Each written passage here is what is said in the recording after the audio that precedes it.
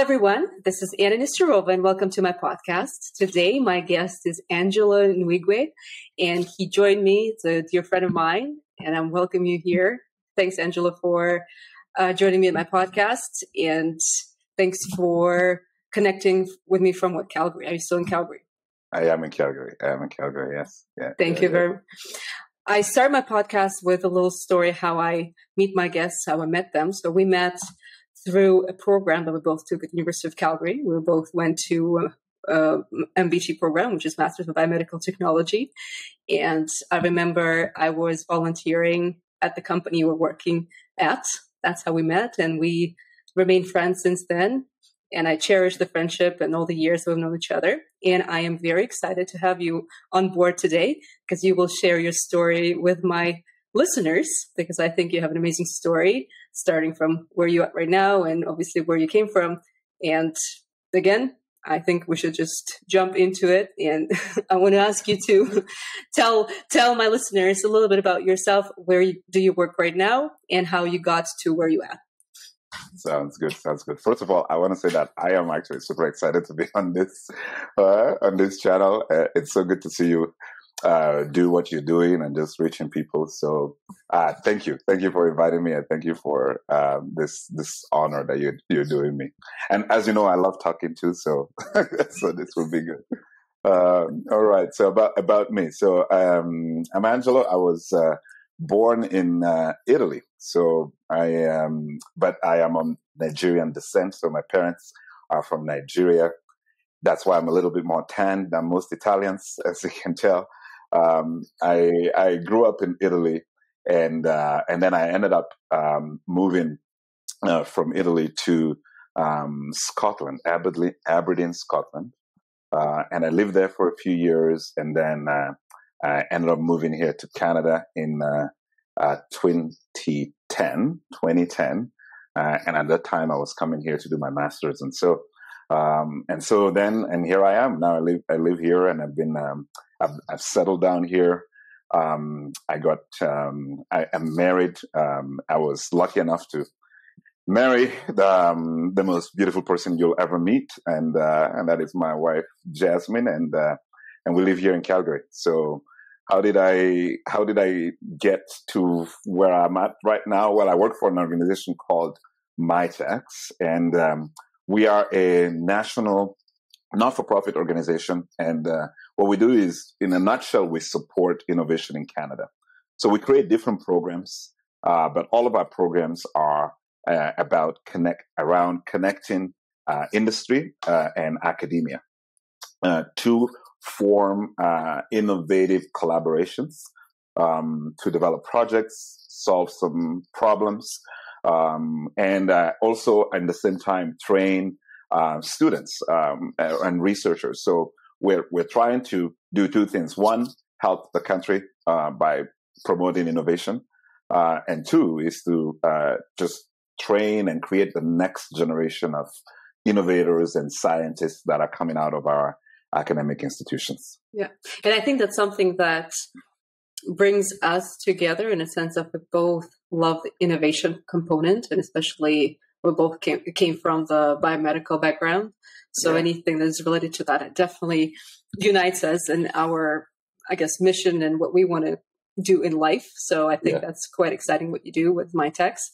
Um, and I guess, well, let's start, let's start to uncover your story layer by layer because right. the first thing you said that you were originally from Italy, but I want to know more about how that transition from one country to another happened for you because yeah. that's something that's close to my heart and i think some of my listeners that went through it or they're planning maybe to move somewhere and it's always yeah. a tough one it's never an easy one as much yeah. as it looks maybe 10 years after it looks oh my god people achieve so much you're now a director or you're like a chief advisor of a company everything looks so shiny, so bright. But the reality is, once you make that move, you go through lots of difficult, challenging moments. we actually moved to Canada the same time, same year. So I think yeah. I can totally relate in terms of timing and how it happened. So I would love to hear your perspective and your story yeah. a little bit, like a little bit more of how you were dealing with some of the challenges. What was the most challenging part of it? And maybe what was the most exciting part about it. Right, right, right. Yeah, my my yeah my journey. I mean, um, I started from. Uh, um, so let's start from uh, university. Let's start. You know, I, I I joined. I was I'm in Italy at this point, and uh, and uh, we went. I, I, I decided to start with biomedical engineering. Engineering. Now, um, I chose that because um, I, you know, my parents always said, "Hey, if you're an engineer, you're to have a good future." Uh, you know, coming from uh, um, my parents migrated from Nigeria. I think it's common with a lot of immigrants uh, to think about, you know, a few professions and you make sure that that's what your kids are going to do. So I was like, absolutely, let's do that. Uh, maybe I wasn't probably, I didn't agree that much, but I did it. and, uh, and then in the middle of that, uh, but at the same time, I, I attached the bio component because that was just a passion of mine. I love life sciences, um, uh, bio related uh, type of disciplines. And so I was like, hey, biomedical engineering, I get the money plus the passion, must be great. Um, as I'm doing that, three years into it, I realized that there was going to be a lot of math in this journey in engineering. And it was something that I definitely underrated. Uh, and I would say that math was really not my forte. In fact, I realized that three years into it, I realized that most of it was actually math, but just called in a different way. Uh, and then they just attached a couple of anatomy courses and two biologies, and there you go. That was biomedical engineering. Uh, at least that was my experience in Italy. So at this point, I was at the University of Bologna. And so three years into this, I'm, I'm, i told myself, I, I, this is not what I want to do. This is not what I want to do. So, um, I decided to, to uh, pretty much leave, leave. Uh, my parents were not too happy about that, but hey, I can't imagine. We, we, we, you know, I was like, hey, this is, this is not working for me, guys. Um, and in the midst of that, I didn't just think about changing my program, but I also thought about, um, just live in Italy in general. Mm-hmm. Um, and, uh, I, at the time I could I could speak English, but it was very colloquial. I had learned English from my uh, at home, uh, but my primary first language is Italian. Um, and so I also wanted an opportunity to, hey, it would be great if I move out. I'd like to learn English. So I'm in Europe right now. Uh, the UK is the place to go. Uh, so, uh, so that's how I decided, you know what, I'm going to, I'm going to take a step back, change program, go to the UK. Started to apply into a number of schools. England was my target until I saw the the, the fees for for the school, uh, and so I was like, ah, maybe England might be too much. How about Scotland? Um, and in the time, Scotland, there was a number of uh, um, um, uh, uh, scholarships that I could get, um, so it ended up being much more feasible. So I was like, oh, they speak English as well there. I'm sure I could learn it. Um, and so I moved to the University of Aberdeen. I will admit that in my first couple of weeks, uh, I, I, did not know whether that was English or not. Right. Scottish English, very different from the English I was thinking about. Definitely takes time to get used to it for sure. So getting used, and I wasn't a native English speaker either, so my English wasn't that strong. Plus the the the the, the difference with the accent. So I went to. Did you pick up the accent? Did you? I did. I didn't pick it up, but it was enough for me to hear it. so, so no, I think when I first came to Canada, my siblings did say, "Oh, you sound a little bit off," and I was like, "I don't know what to tell you guys. I Nigerian parents grew up in Italy, went to school in Aberdeen. I don't know what my accent is from right now." So, but I, I, I, I transferred, and so I left engineering and I moved into biomedical sciences, um, majoring specifically in human physiology. So I decided to follow my interests, which was exactly around uh, you know those disciplines. Uh, now, uh, as most people would know, um, if you are doing biomedical sciences or any biology related type of thing, there is pretty much you have two options. One is you're going to go through a research route, which means that you probably go to do some kind of a master's thesis based type program, and then you go into a PhD, you become a researcher or professor, or maybe a Nobel Prize someday uh, hopefully. Uh, your other route is to go towards medicine. Uh, you know, so you'll probably start applying for medic, med, med school. That's what, that's pretty much how the class usually divides itself. And so, uh, I wasn't that creative. So I did think, hey, um, it's one of the, these two. I realized that being in the lab was probably not going to be my preferred thing. Can't really talk to, you know, uh, anyone in the lab. And I, I love talking to people. I love being in front of people. So I was like, medicine is going to be my way.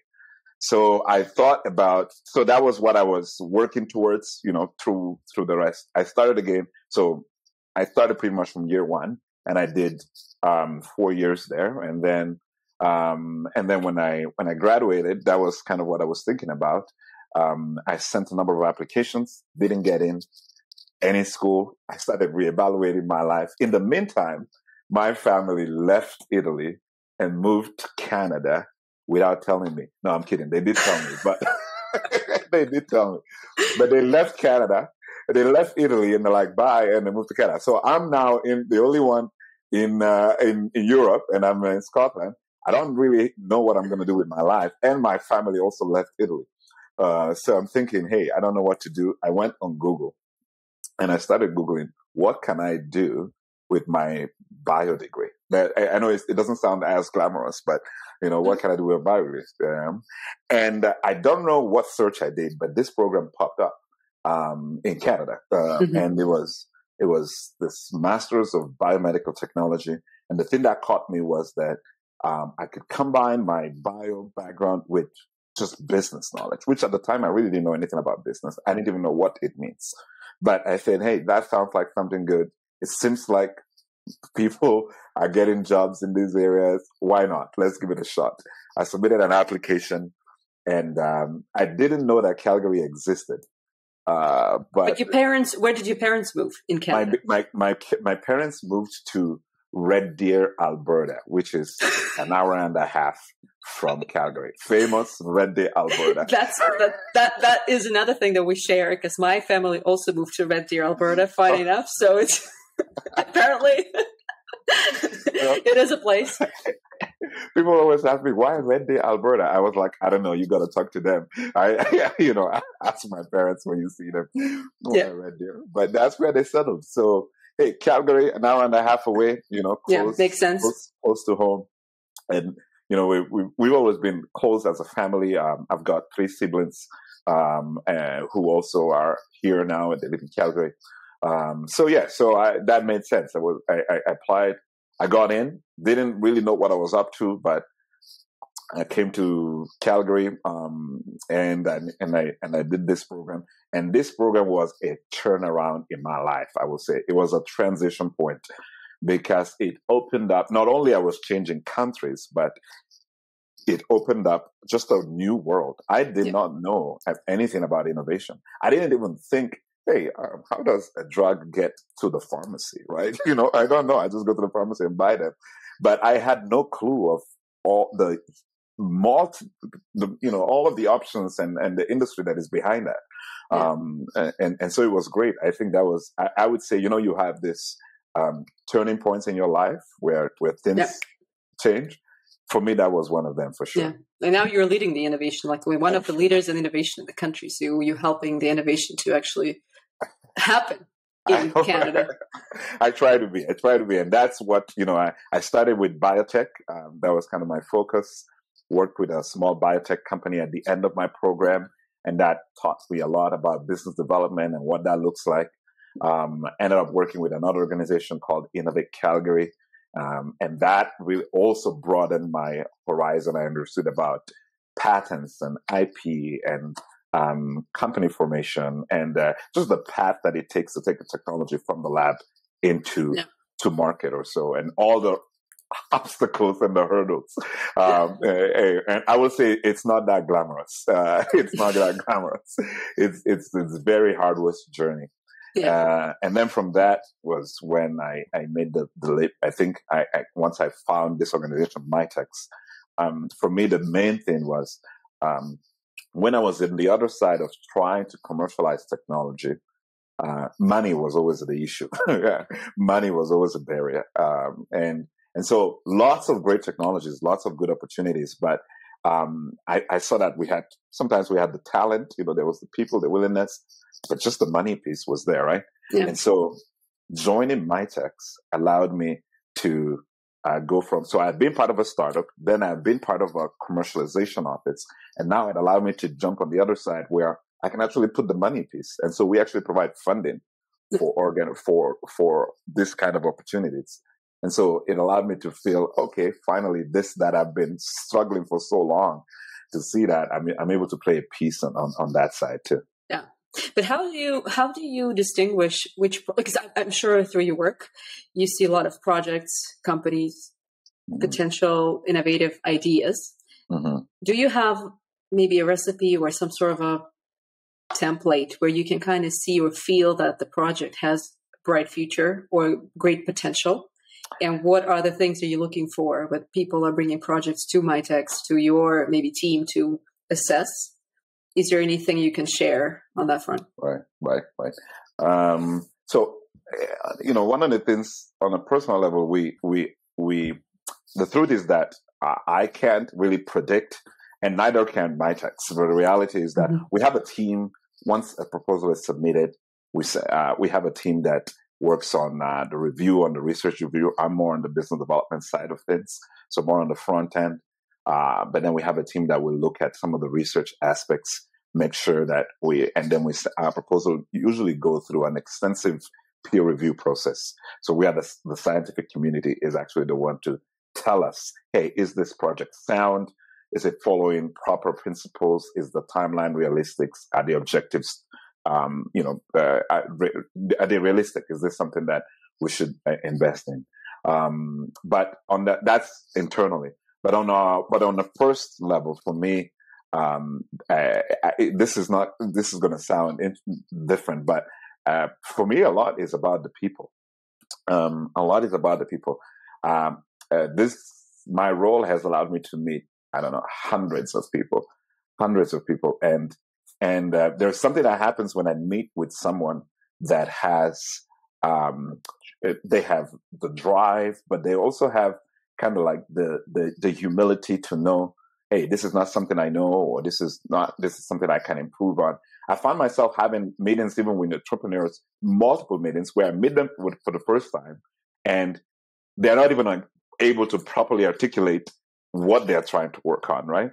But they are but they're but they are listening they're focused they're determined they're willing to change they will they they they hear take advice and then they go we go to a second meeting and the third meeting and the fourth meeting um, and and by the end of it they they become like i remember this one project i think it was about four years ago this young uh, phd he had finished his phd um, he was working on um, some cardiovascular related uh, technology, and uh, and he was you know straight out of school, really didn't know much around this. He just knew about his technology, and, and I remember watching this guy and meeting with him um, several times over the period of a year, and then him starting a company, uh, and then going on to bringing in the right people, getting advisors, and so on and forth. And right now, when I think about where where he's at, um, they've submitted something like maybe they've got probably over half a million dollar in funding from us over the year. It was, it didn't happen in day one. It didn't happen on day one, but over multiple iterations, right? Um, he continued, he was coachable. He was determined. He went to find the right people to work with him.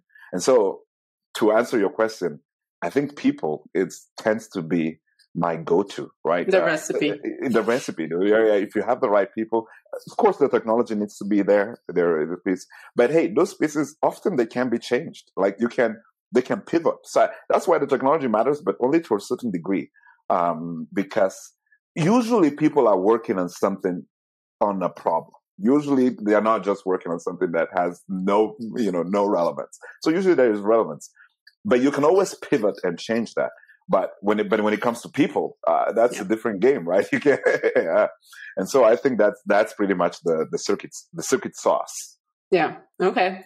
And I think that kind of leads nicely to my next maybe question or next line of questions for mm-hmm. you because I think it takes certain pers- person and I know you well enough to know that you're very good with people and you feel them and that helps mm-hmm. you probably in your in your job but it's also it takes a certain character even for you to become one because over all the experiences that you've had before yourself, moving from country to country, changing your trajectory in your career, changing the business trajectory, changing companies, etc. It, it builds up the character, and I think that kind of falls into the key characteristics that people need to work on, or maybe um, I don't know. Can you really work on? Yeah, I guess work on, or maybe bring uh, together over your lifetime in order to achieve mm-hmm. the goals they are actually trying to. So my, my, my next question, maybe, or the line of questions would be, how do you think your experiences of changing countries, changing your careers,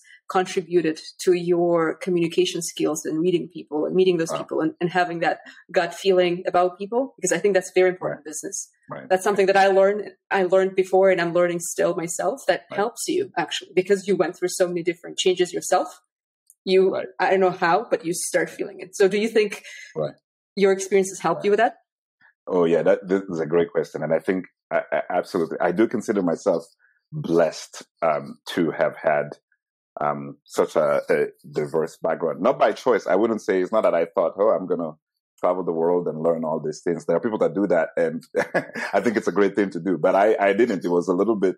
Um, it was just kind of happening step one step at a time.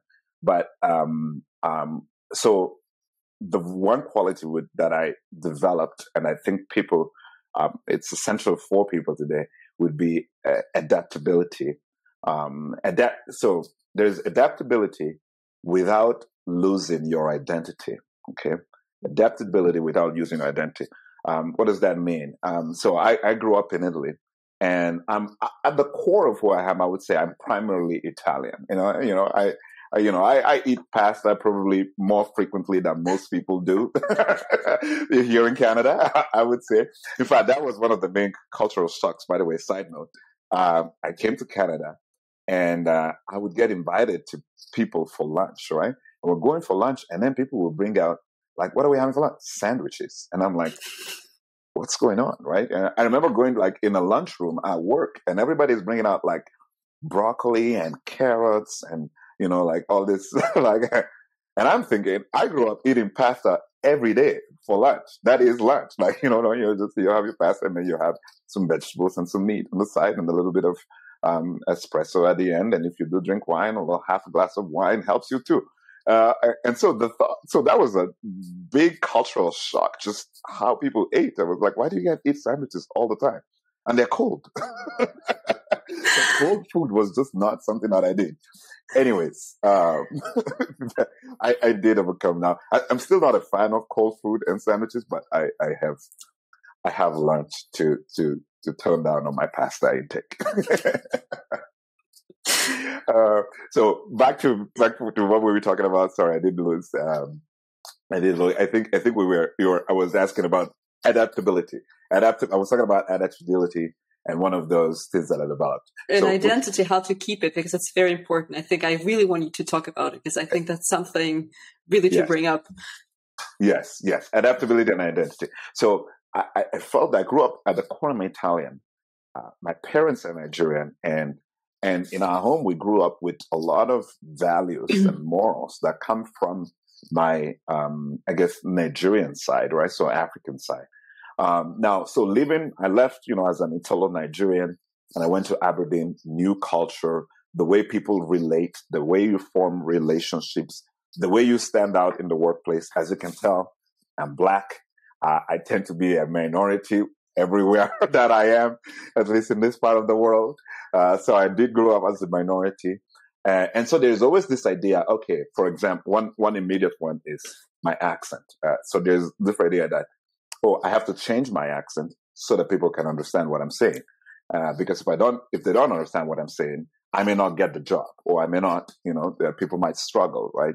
Um, and uh, uh, or just in you know just that that's one i think that's one immediate example but also how i create friendships right you know italy italians we're very forward we are very um, we either like you or we don't and when we do like you you know and when we don't you also know right uh, um, uh, coming to Canada, a, a, little different, right? You know, like, you know, I always wondered, sometimes I was like, do you like me? Do you not like me? I mean, you're really nice to me and and being polite is I think it's part of the Canadian culture. But what what may not be polite to us in Italy was I, I thought that was polite, and then here maybe being that direct, it's not.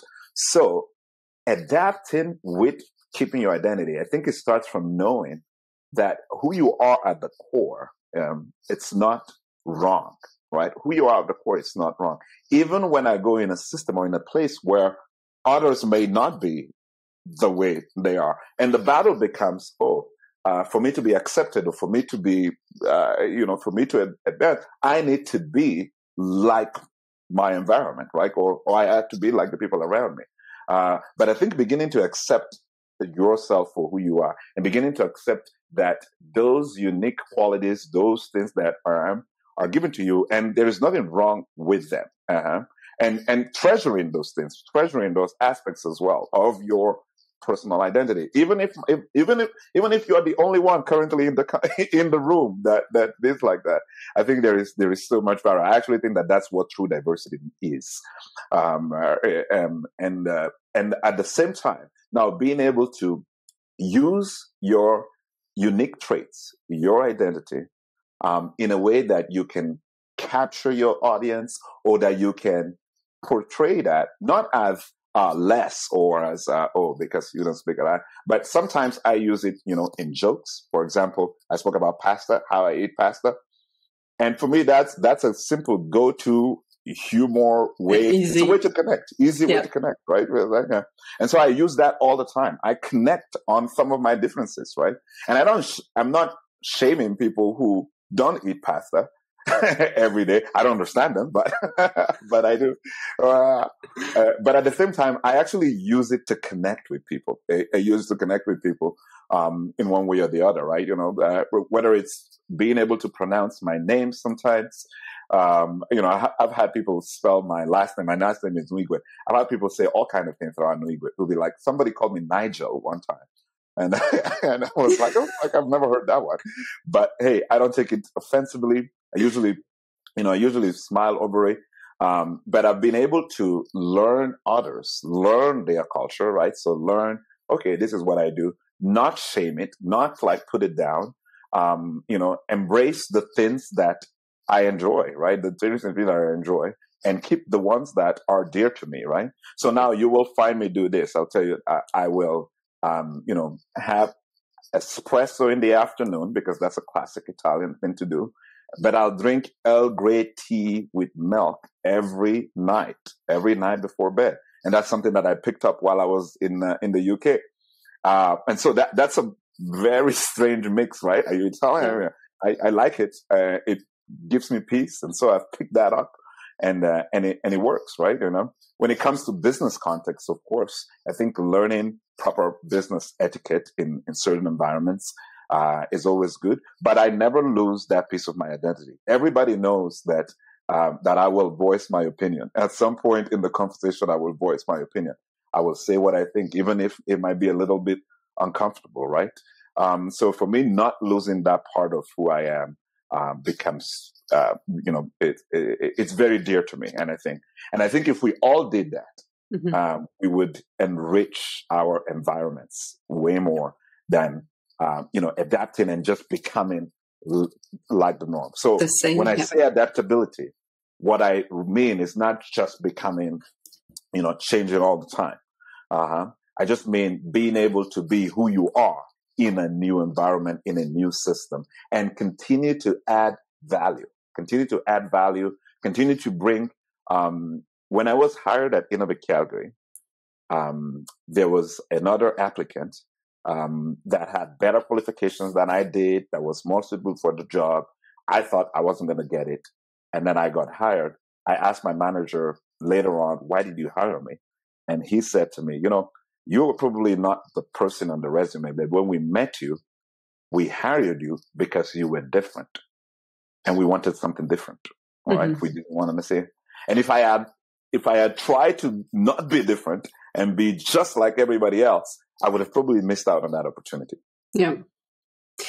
But what do you say? Like, let's say some people you had it naturally, like you said, not by choice, but just naturally progress to the point you were at, where you at right now. But some people would say, well, but how do you develop it if, let's say, you have not left the country? If you stay in the same place, how do you first keep that identity that you have and maybe nourish it and develop it and like you said cherish it inside of you but also how do you learn to communicate and read people and especially people from different cultures different places do you think you can learn that do you think you can develop it in yourself do you have anything on that because i think yeah. people might ask that question it's like well you have that experience of changing yeah.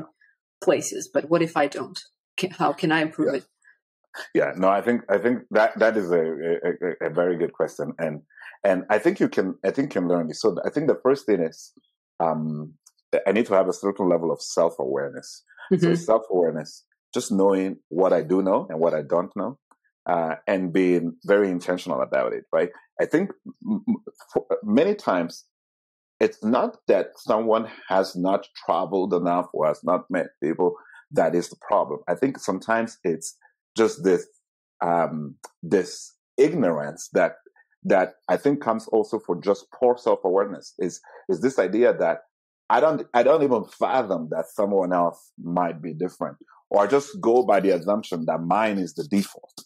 You know, my way is the way, uh, and never even ponder on the idea. So if I don't ponder on the idea, I will not develop the curiosity. So I think that anyone that does pause and, oh, they, they, they could be different. Automatic, that's step one. Step two will be you will have a natural curiosity and when life presents you the opportunities, and I think we're in the world that we live now, life will present you the opportunities. We live in a very interconnected world, right? Whether you're gonna, you know, whether you watch a movie on Netflix, and right now you see Netflix has all kind of shows from all kind of nationalities, right, or cultures, right? So whether you're watching a documentary or whether you are following whatever pages on your Instagram or social media, uh, or what, and, and of course your environment. The world is like in Canada, and luckily we, you know, we, we have, I think, lots of immigrants and people from other cultures. So, uh, if, if once you have that curiosity, I think you will begin to pursue those things or those relationships. And if it's not relationships, is these other things that I spoke about. It could be a show. It could be a book. It could be just something that you're following on Instagram. It could be just the news. And and that inquisitive mind will lead you to actually learning new things and just being open to that, to, to develop that adapt, adaptability. But it does take, you've, it is a little uncomfortable. Okay. it is more comfortable to be, uh, to be like everyone else, right? It is more comfortable to just keep the norm. Uh, so, so you will have to overcome that discomfort that comes from not knowing or from maybe asking questions that are uh, that are that are little um, you know out of the norm or or or from looking like you know uh, like you like you don't know something and so you don't want to look stupid or so so and so. So once you overcome that discomfort uh, then I think then I think anyone can learn it. Anyone can learn it. You've got to be intentional about it um, and and you've got to always ask yourself you know just be aware of who is around you what is happening in around your world. We have all the tools today to do that. So yeah. I think no one is excused. I agree. But I have two things here. The first one, how did you overcome those things? Because when you are going from place to place and you are being in a different environment, and yeah. when you are asking maybe silly questions, sometimes uncomfortable questions, like I've went through myself, right? Because you have to yeah. when you're in a different environment yeah yeah. It's it, it happens. So how long did it take you to overcome that to find your identity? Or maybe you didn't lose it but you just felt that for a little bit you were just challenged. So what was that transition like and how did you overcome it? What helped you? Yeah yeah. Uh, so uh, coming um, is uh, i think one of my uh, so i'll put it this way. When i when i came um, to canada um, the, so my i started really easy for, for getting comfort. And by easy, I mean I gravitated towards other immigrants. I aggregated towards other people who had the same struggles and who I could relate. And I think that's something that we would all do. Right? We're just kind of looking for uh, this. Uh, you know, one of my close friends, his name is uh, uh Pedro. He's from uh, Guatemala, and he was also new to Canada. And I remember the first day in class that we were just both new. And I said, Hey, I'm new. I don't know anybody. I'm looking for friends. He said, I'm new. I don't know anybody. I'm looking for friends. I said, let's be friends. That's kind of like, it was fairly easy to connect on that level. Um, but, but I didn't want to do the thing where I just stay, you know, within my comfort and just where I also wanted to learn the culture in here. So what is it that helped me in particular? I think I, I, I think so. Part of it was that I was kind of I didn't really have the choice not to, so it wasn't really a, I, you know I you know like for example I needed to work right and I needed to get jobs and to get jobs I needed to do to get what they call Canadian experience at the time right um, and and to get Canadian experience, I, I cannot just be hanging out with my immigrants friends. We we're all looking for that. So I needed so networking was a huge piece. So I started networking. My program did um, um, school program, as you know, encouraged it a lot. But even after the program, I, I actually made networking just a lifestyle. Um, and it wasn't networking with, uh, you know, when you call it networking, it sounds really business, business. It was just I became good at building relationships. And that's what I've been doing. It's part of my job description right now, but, but it's just what I, I do in general, right? Um, just building relationships. You can call it networking, whatever, but I would go out and, uh, and in an event, I would just try and talk to, you know, it didn't have to be everybody, but two or three people. And when I spoke with people, what I would do is this. I would go, it's you know when i ask questions or when i when i try to connect with someone i try to connect on a deeper level by asking questions that um, that go into deeper aspects of who they are what they think how they feel um, so rather than just asking, what do you do? Uh, so you the ask, weather. what do you do? Or, or, about the weather, you know, all these lateral questions where you're like, you know, you never really get to know what someone is thinking, what their body is. I always try to go one level deeper, right? And if they give me that chance to, for that level, I'll go another level deeper, right? Um, it may not all happen in that one event. Maybe in one event, I can, I'm able only to go, you know, wh- what do you do for work? Oh, what do you like so much about your work? and oh, are you the kind of person that that does this, right? And that's how, how far I can go.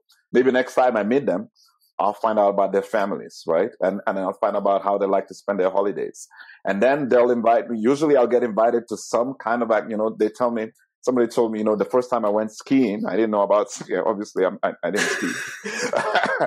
and I was like, yeah, I've never tried, but hey, I'll try it out, you know. And it was someone, you know, Canadian that invited me and, and showed me I tried snowboarding didn't work, but I did try it. I did it two, three times. then I did skiing a little bit better. You know, somebody said, "Hey, let's try."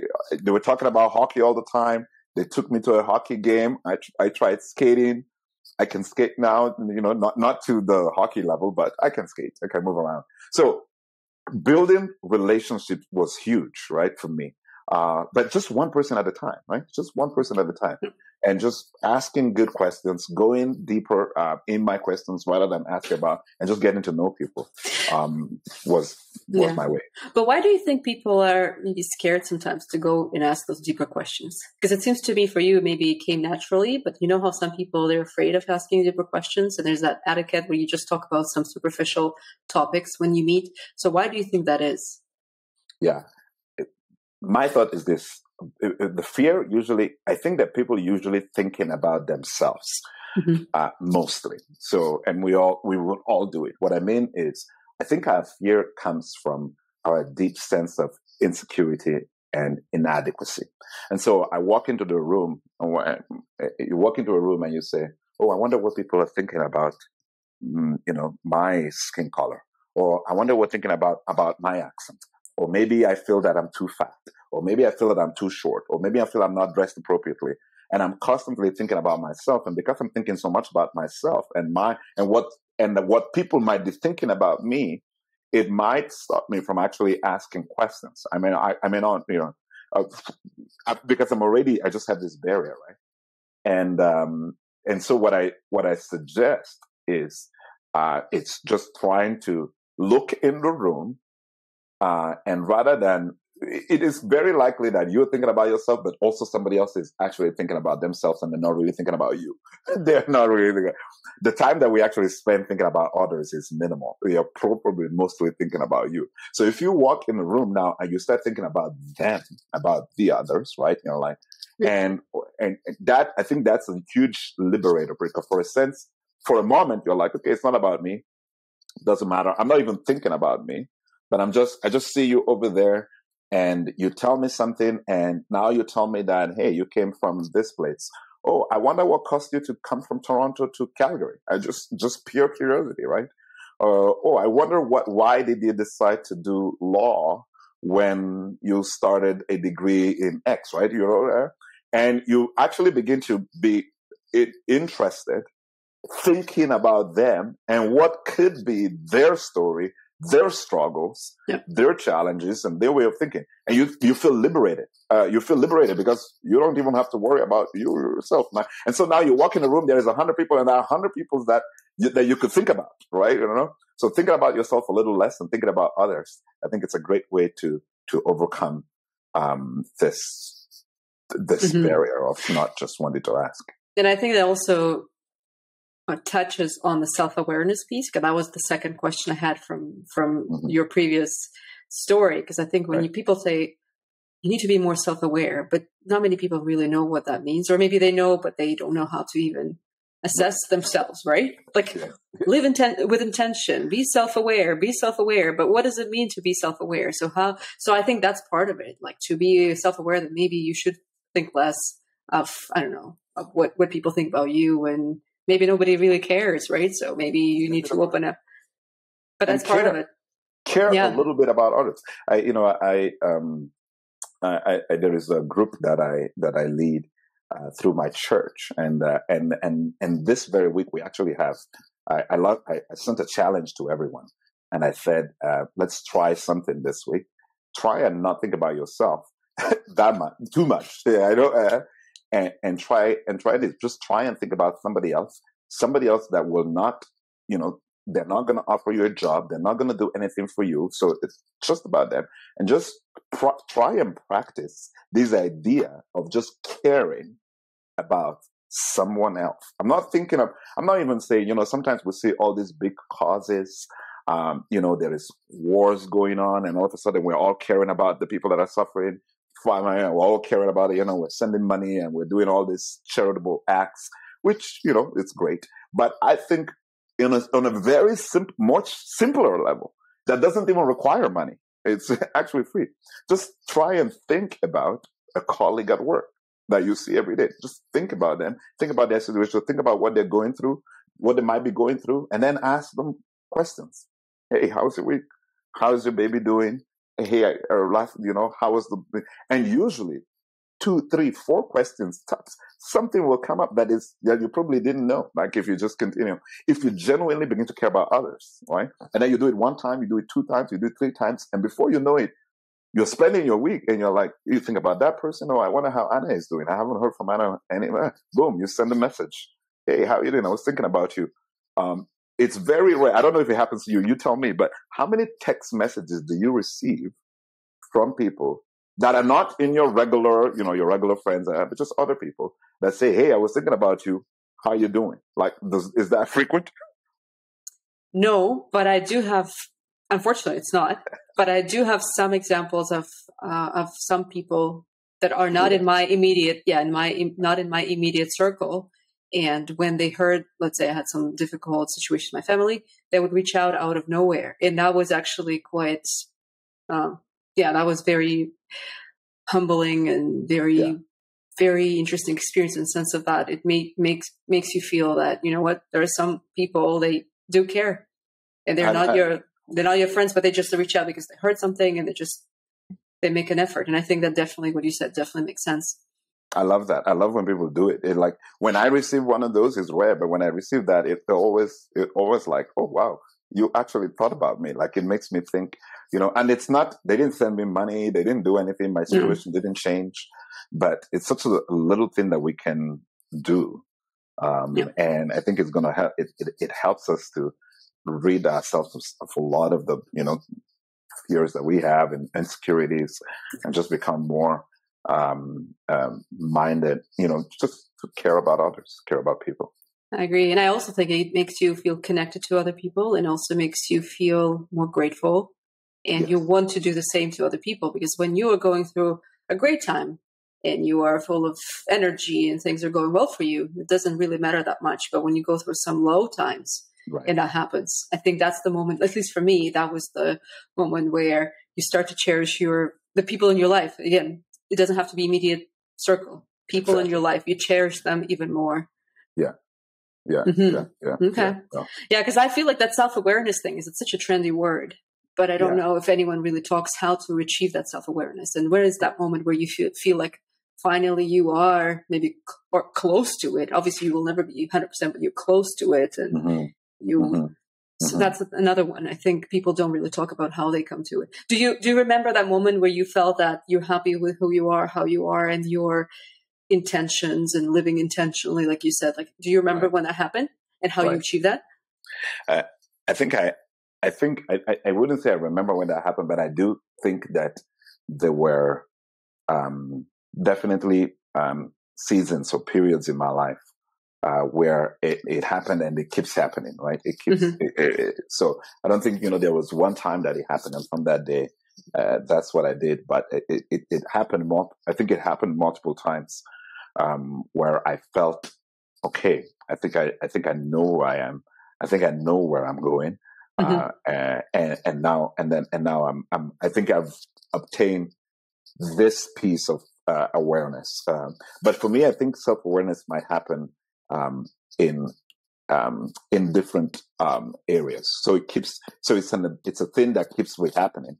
And so in one period of my uh, of my life, so I'll tell you my most recent one. Mm-hmm. Uh, I think in the last, uh, so I got married in 2020. Uh, and uh, so now we're in 2023. Oh wow, okay. Uh, and and one of the things that I have thought about in the last two years, so it's a, so it's, it's, it's, it took me a, a, little bit, but I've been chewing on this for a while, and uh, I think I've been I've become aware of um, where I am um, is is good. Where I am is good. What I have is good. Um, what I've been able to do is good. What I have achieved or is good. And the keyword is good and and it's okay. Um, if I'll, I'll advance, if if I was to not um, achieve more, for example, you know, you know, I, I, you know, one of the things I always said growing up and um, um, was, oh, one day I'm going to be a CEO, right? You know, uh, um, but and, and in the last two years, I've been like, um, why did that does that matter to me? And what what if I did not become one? Right? Uh-huh. Uh, what if I did not, you know, start a multi-million dollar business and then I did not, you know, run 15 marathons and I did not build 16 side hustles and, and, and build a large social media following of million of followers. Then what if I didn't do all those things? And I would say it would still be good. Where I am, who I am is good. Um, and, and I've come to terms with that because one of the fears that I think I had before was more about, oh, I just don't want to, I want to make sure I do everything that I'm meant to do. And I'm looking at everybody doing what they're doing. And I was like, oh my gosh. And I was like, time is running out. And, and I still haven't done this and I still haven't reached this and I still haven't done this. And, and as though that is, you know, what, you know, I'm still not successful, right? You know, for whatever success that, that, that means.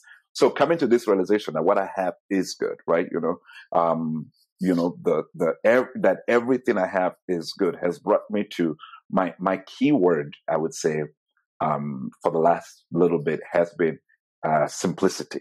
Uh-huh. Just living in simplicity. Um, just being content, contentment, um, in, in where I'm at, in, in, in who I'm with. I have found so much, such a huge treasure um, in my relationship with my wife and in, in building that relationship and just um, kind of learning who she is and how she is and and looking at uh, and you know in many ways we're very different right you know she's um, she's more i'm more like goal driven you know let's do this let's go there and she's more like you know some let's pause and look at the birds and look at the sky. Let's go for a walk, that kind of thing. Like, I'd never went for a walk before. I was like, why would I go for a walk? you know, you want to drive somewhere, but not walk. That's way too slow for me. but uh, you know, I, have learned so much from her, uh, and and so this has been a new realization. So back to your self awareness piece. I think at different points in life, we're going to become aware of a certain state. We're going to say, yes, this is who I am. We're going to, and when we can stand in that identity, then we are now able to go back outside and then look at you know the world a little bit differently and look at others and just be okay and ask those questions and care about others and and and and so forth Yeah, but it almost like it enriches you even more. So it almost feels like it enriches you even more to coming from that place versus the place of never-ending chase, right? But what is what what what is what is your definition of success then? How do you define success? Such a that's a that it's that's a hard question. Um, how do I define the sex? Maybe today this is how I define it today. Maybe tomorrow, if you ask me, I'll have a different definition. Uh, but I think for me, success right now it's um,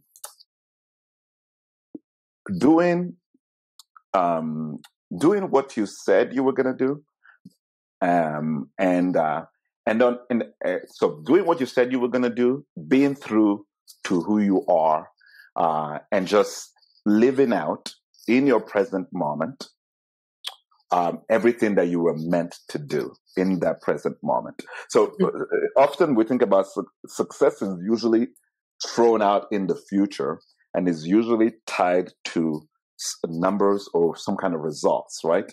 So we, we look at success and, you know, if you take it in social media, it's a certain number of followers. If you take it in money, it's a certain type of income. If you take it in, so there is a number attached to success.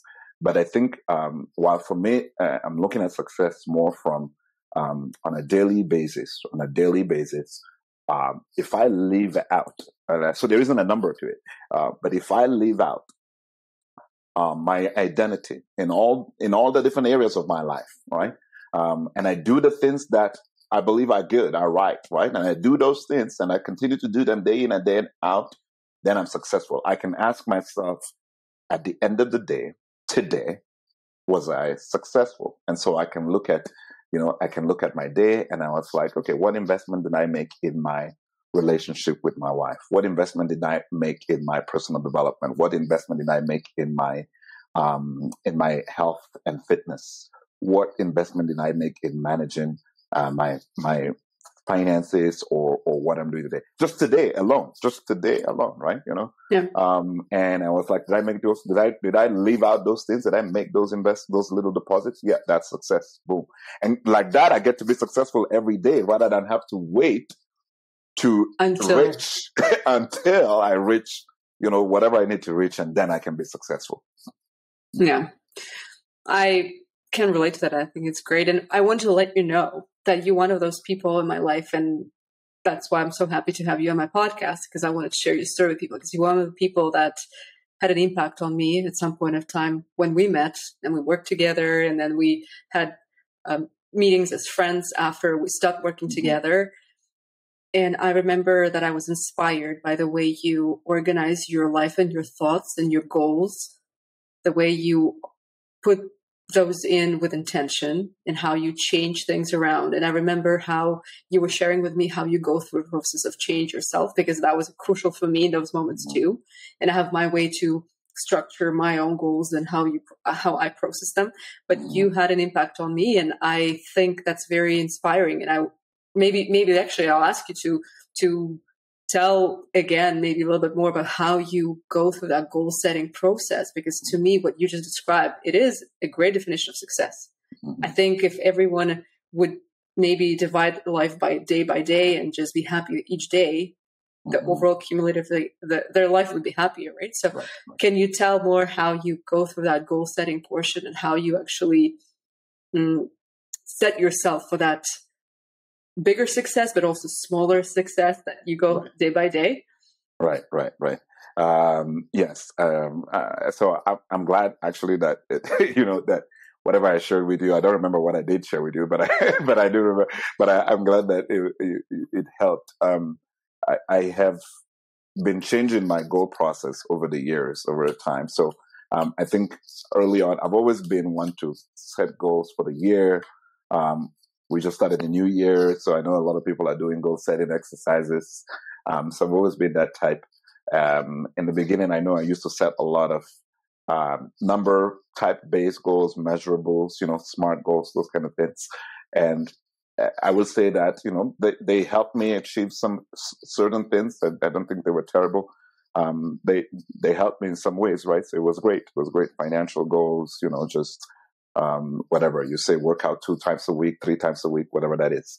Um, now, where I'm at now, um, I started um, more than writing goals, um, I started writing what I call uh, formations. So formations are um, essentially statements um, around your identity. Uh, you, you, see, I'm kind of fixated with this topic of identity, but I, I, think it's I think it's every you know I think it's fundamental. So um, I started writing these statements and I broke them down in categories. Um, so um, for me, you know, there's there anyone could have their own categories that matter, but you know, I've got my spiritual life, and then I've got my family, um, and then I've got health and fitness. I've got um, career uh, and business, and then I've got personal development in there. So for me, there are five categories that I look into, and in each of those categories, I write um, I write a statement of who I am in those areas, who I am. So, and I'm, I'm specific about saying not just who I want to be, um, because mm-hmm. who I want to be sends it into the future again, um, but it's who I am. Um, and so, um, and so by, by spelling out those, um, let's call it, um, you know, you know, those, those statements about my identity and about the kind of person that I am, out of those, um, certain natural uh, uh, things will flow out of them. For example, if in my in my health and fitness, um, I, I, say, you know, I am uh, a person who uh, moves daily on on, an, on a regular basis, who moves daily on a regular basis. Uh, and it sounds like a very simple thing, but because I am that kind of person, some days, uh, most days, I'll, I'll, go to the gym in the morning before work. But um, but if I'm unable to do that, um, you know, I'm part of a volleyball team, and so um, I, I do I like martial arts, jujitsu, those kind of things. And sometimes none of those things happen, but it could be uh, it could be just having a walk, standing up. In other words, it is now part of my identity, which means that for the rest of my life, I'm going to leave this thing out. So it's not. So for me, it's no longer you know, um, being a certain size or a certain weight or lifting a certain amount of weight. It's just, it's become part of my identity. So come rain, come shine. This is just what, this is just who I am. And because of who I am, I do these things, right? So I do the, so I don't do things to just become someone. It's because of who I am that I do these things. Um, in my money spending category. You know, you could have goals of how much money you want to make or save or sales numbers and things like that. And those are all useful. But above that, I do have just a way of living, right? You know, for me, a big aspect of living is contentment. Um, um, and so, you know, living simply, um, uh, being a good, uh, being, you know, responsible of who you are, but also being someone who gives freely. Um, so that's why I'm someone where and so writing those things out allows me to um, to live successfully every day because I can review my year um, and I can say, hey, you know, you may have not made whatever you know the, the number of you know whatever numbers you may have had but did i live out these things? Is this who i am? When when someone talks about me right uh, is this what they say right and then mm-hmm. at the bottom of this, at the bottom, so I have those five categories. I write all these statements. In these statements, now um, at the bottom of this, I write five virtues that mm-hmm. I want to be known by. And it's just, you know, just keywords, right? You know, like, you know, one of them is humility, for example, but five virtues that I want to be known by. In other words, what is dear to me. So when somebody says, speaks about me, I hope that one of those five things they're gonna they're gonna say it without me having said it to you right? Uh, but yeah and that's really you know so it forces me to live my life in a certain way. It puts it puts the boundaries and and the and kind of it, it lights the path that I, that I need to to to live out. And it, it it automatically drives me to achieve those goals. And then lastly the I think the most the secret ingredient is this. It's it's that my number one goal is to actually review, reassess, reconsider, think, reflect on this one piece of paper every month at the start of the month. Oh, okay. So that's my number one goal is to review it every, my actual goal, you know, that's the one numeric goal. At the start of the month, I want to take you know, a couple of hours to sit on this and review it, examine. So I can say, hey, am I living out this things? What did it look like, right? Um, where is it that I am? And I want to remind myself of who I am, how I'm living, yeah. et cetera, et cetera, right? So that's, that's, that's my goal, goal setting process. And that's, that's what I meant. I remember it from so many years back the way how you were processing it. And I remember that was very inspiring and impactful at that time. So yeah. now it's as profound now. And it seems like you went through a refining process and it's yeah. it's lovely. Again, simple, sounds simple, but so deep and not that easy. not that easy when you think you know, about it. Uh, mm-hmm. bef- back before I actually used, I had a, you know, this, I had all kind of I read a lot into this goal setting thing. Uh, you know, I was running a side business and I was trying to figure out, you know, business goals and all things. And again, it's not to say that those things are bad. I think, I think this could be either your way goal setting or it could be an added thing to add. But, um, it, it, I had like three, four, five, six pages broken down of things that I wanted to do and how I do it. But this is now one page. The reason why yeah. it's one page is because I need to be able to just look. I need to be able to recall it yep. pretty easily and I need to be able to just look at it all in one page, all in one page. So, uh, so stripping out actually and making it simpler, like almost using just regular language, yeah. um, uh, was difficult. So it, it, did take a little bit, but once once it's done, it feels it feels um, very freeing. It feels very freeing. Yeah.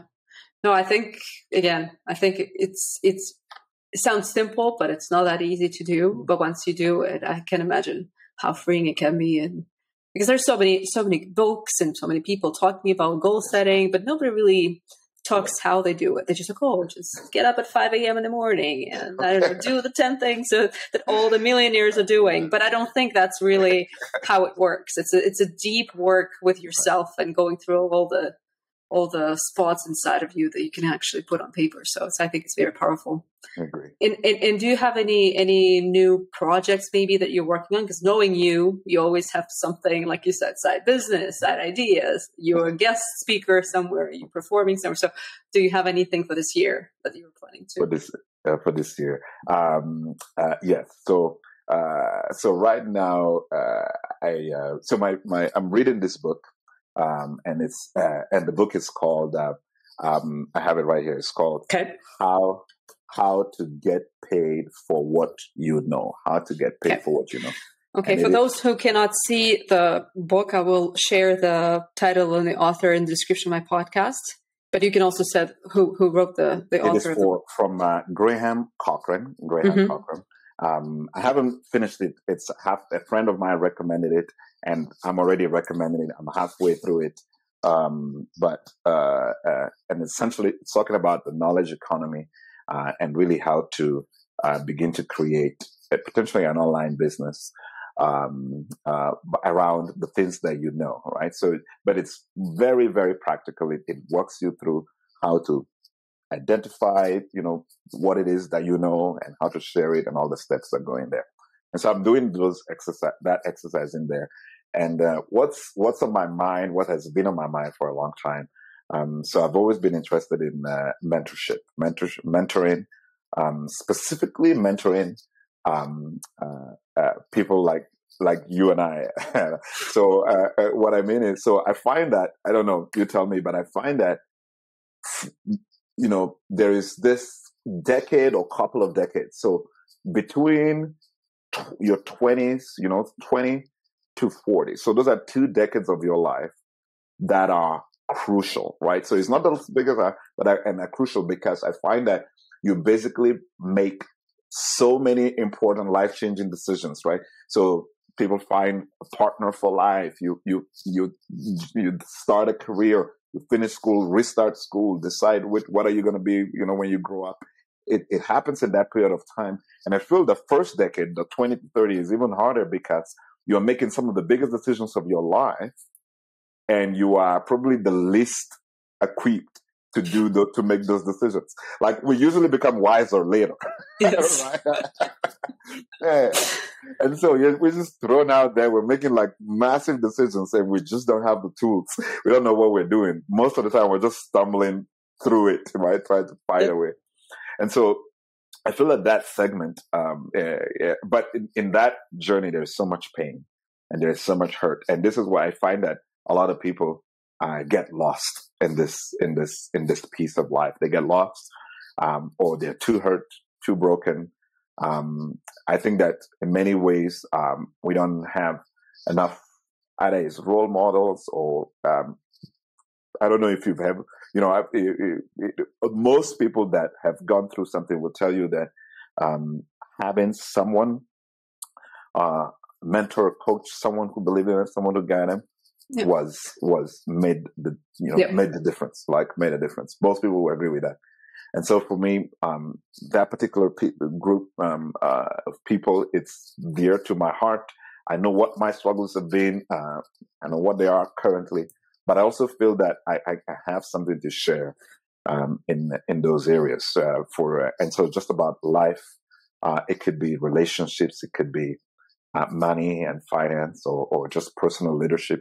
I think those are three big things that uh, people in those decades wrestle and deal with a lot. Mm. Um, and so I'm thinking, um, how do I do this uh, in a, on a larger scale? Um, so you know, when it comes, you know, when it comes to mentoring, you usually do one-on-one men- uh, uh, mentoring or coaching, and uh, but that can only go so far. Uh, you can only have you only have so many hours in a day, and so I'm thinking, how how can I scale that? How can I grow that?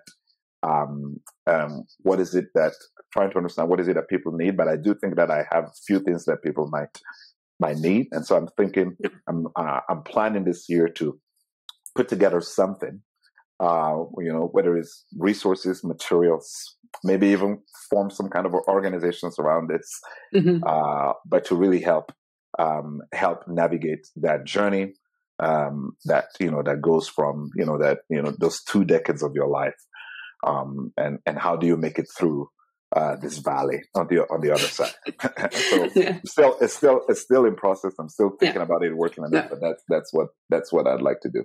But I think you'll be great in that because you already just just simply what you've already shared. It's also a big part. It's already a, a huge component. If someone can use it, you don't have to copy things, but if you mm-hmm. use it as a roadmap to create your own way of setting up goals and looking at things from a positive angle, mm-hmm. helping others, thinking less about yourself, thinking more about other people, just following those steps and being guided in that direction. You're already doing that. You're already helping so many people, just kind of sharing that information because I think we don't talk about it enough, I think, on day to day basis because we are mm-hmm. more about goals, like you said, numbers, numbers, like yeah, where yeah, do you yeah. work? What was your title? What is, where are you going next? So right. we, I think we're shifting the focus very often. So it's nice right. to go back to that and kind of move along the trajectory that you are um, setting up for yourself. So I think right. I think you'll be very good at it. Thank you. I think, yeah.